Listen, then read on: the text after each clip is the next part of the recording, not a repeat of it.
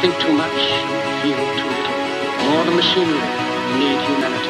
More than cleverness, we need kindness. Without these qualities, life will be violent. Soldiers, don't give yourselves to brutes. Men who despise you, enslave you, who regiment your lives, tell you what to do, what to think, or what to feel, who drill you